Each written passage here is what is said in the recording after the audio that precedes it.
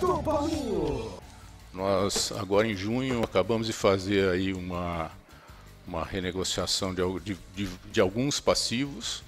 Um deles relevante, que eram obrigações fiscais que nós é, reparcelamos aí com a, com, junto à Receita Federal, através de uma portaria recente que saiu.